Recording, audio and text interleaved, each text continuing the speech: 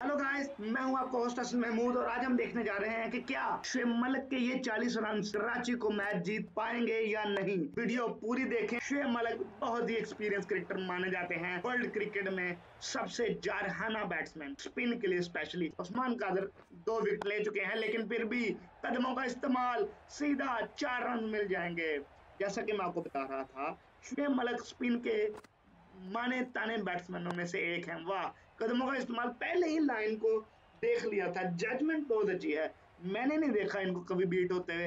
अगर आप में से किसी ने देखा तो मुझे कमेंट में ज़रूर बताएँ। और एक और फुल टॉस एक और लेफ़्ट साइड पर चार रन रदरफोल्ड ये तूने क्या किया? बिल्कुल आप चेक करें। बिल्कुल रिदम बॉडी की चेक करें आप। 28 बॉलों पे 23 रन रह गया है। शेम मलक है। फिर लेग पे, फिर वो बैड डिलीवरी पिशावर आज बहुत ही बुरी बॉलिंग कर रहा है। इतने कठिन मोड पर बाबर आज़म को एक्सपेरिमेंट नहीं करना चाहिए था। मुस्तफ, मुजीबर रहमान को वापस लाए हैं। एक और कदमों का इस्तेमाल चार रन गाइस आप नोट कर रहे हैं शेम मलक की प्लेसमेंट अब देखें, बिल्कुल ऑफ़ साइड पर खेला ना वो पूरा कवर की जानब था, ना पॉइंट की जानब, बिल्कुल दरमियान में खेला। ये एक भरपूर क्लास चाहिए इस तरह की शॉट में। एक और शॉट देखें। वाह!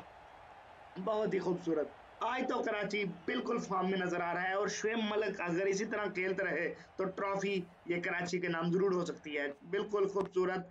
बैलेंस आज बिल्कुल परफेक्ट इनिंग है।